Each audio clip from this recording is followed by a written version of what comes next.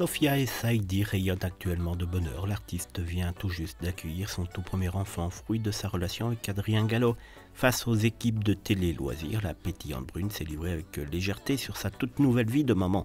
Un visage familier pour les Français.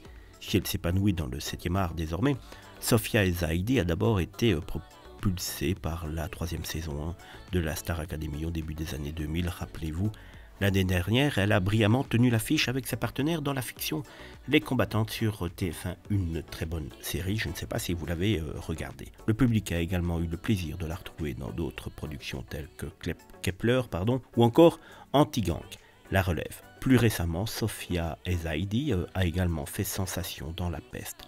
De son côté, de côté cœur, pardon, tout semble également aller pour le mieux depuis maintenant plusieurs années. Elle partage une belle histoire d'amour avec Adrien Gallo, danseur et sportif de haut niveau et a travaillé avec les plus grandes stars internationales telles que Beyoncé, Rihanna ou encore Lady Gaga.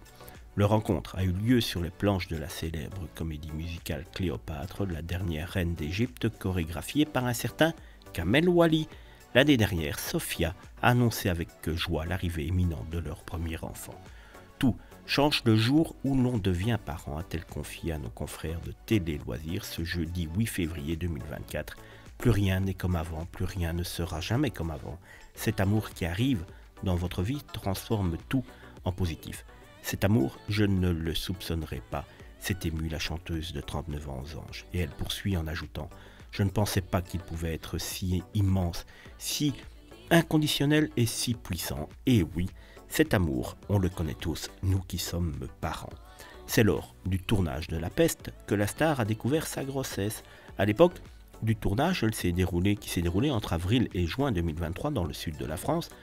Je venais de l'apprendre, a-t-elle révélé. Ça s'est très bien passé, d'autant plus que ce n'est pas un rôle très physique.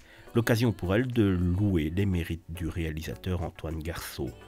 Il est déjà merveilleux, mais là, il a encore été plus fantastique. Il a pris soin de moi, a-t-elle conclu avec tendresse une déclaration qui touchera à coup sûr le principal intéressé.